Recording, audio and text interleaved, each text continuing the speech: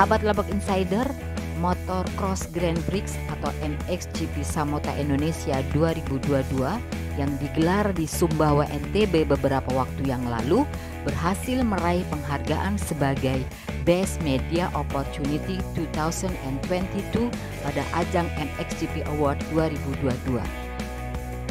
Penghargaan MXGP Award tersebut berlangsung di area Moto Festival di sirkuit Afyon, Afyon Kerehizar, Provinsi Turki pada 4 September 2022.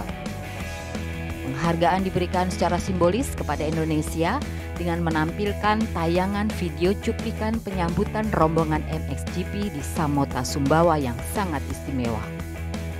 Termasuk acara seremonial yang dihadiri oleh ribuan masyarakat kota Sumbawa besar dan juga atraksi Jupiter Aerobatic Team di atas sirkuit Samota Sumbawa. Penghargaan dibacakan oleh komentator MXGP TV Paul Malin dan presenter MXGP TV Liza Lilen dengan seluruh acara disiarkan langsung ke seluruh dunia di www.mxgptv.com.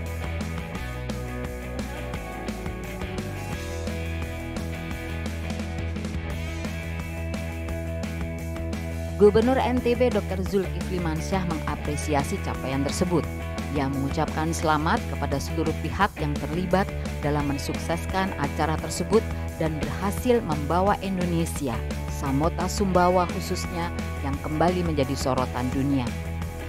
Bang Zul mengungkapkan pelaksanaan MXGP of Indonesia 2022 di Samota Sumbawa memberikan dampak yang sangat baik kepada masyarakat setempat dengan pencapaian nilai ekonomi sekitar 154 miliar rupiah selama tiga hari pelaksanaan di Samota Sumbawa.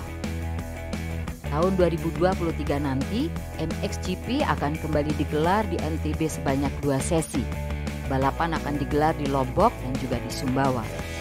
Dalam kalender event Kementerian Pariwisata disebutkan jadwal MXGP Samota Sumbawa yaitu pada tanggal 24 sampai 25 Juni 2023 dan MXGP Lombok pada 1 sampai 2 Juli 2023.